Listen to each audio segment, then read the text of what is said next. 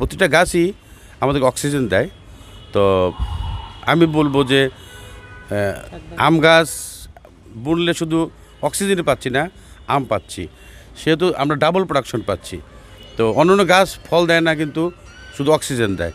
তো এরকম ফলের গাছগুলা বেশি প্রাধান্য দিয়ে যারা যারা আঙ্গিনাতে একটি করে যদি আম গাছ বনে বা একটা যে কোনো একটা গাছ বনে সেটা অক্সিজেন পাওয়া যাবে এবং তার ফলও পাওয়া যাবে। আমার সাথে যে দুজনকে দেখতে পাচ্ছেন, তারা দুজনই বৃক্ষপ্রেমী মানুষ। তাদের দুজনের রয়েছে অসাধারণ মিল। এই বৃক্ষপ্রেমী দম্পতি তিলে তিলে অক্লান্ত প্রচেষ্টা গড়ে তুলেছেন আজকের এই চমৎকার ছাদ বাগানটি। দেখতে পাচ্ছেন নানা প্রজাতির আম কিন্তু ঝুলে আছে তাদের এই বাগানে। এই বাগানের খুঁটিনাটি তথ্যচিত্র নিয়ে একটি প্রামাণ্য চিত্র আপনাদের সামনে তুলে ধরব।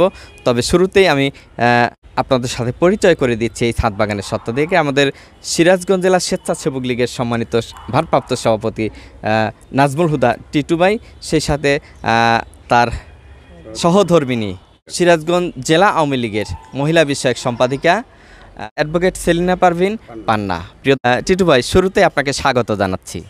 আপনাকে ধন্যবাদ। তো কেমন আছেন? আছি ইনশাল্লাহ ভালো।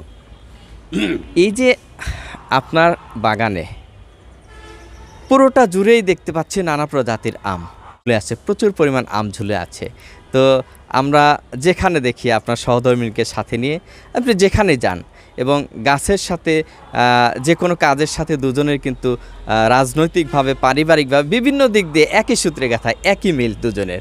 তো আসলে আপনারা যদি আজকে একটু আপনার এই নানা প্রজাতির আম গাছের সাজানো বাগানের গল্পটা দর্শকদের উদ্দেশ্যে বলতেন। তো শুধু বাংলাদেশের মানুষই আম ভোগ খায় না, এ চয়েসটা সারা বিশ্বের মানুষই আসলে আম চয়েস করে। তো আসলে এটা কমার্শিয়ালভাবে না। আমাদের ছাদ ছাদ অনেক বড় ছাদ।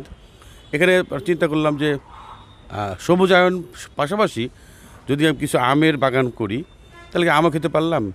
অক্সিজেনের সাথে আমাদের পরিচয় হলো।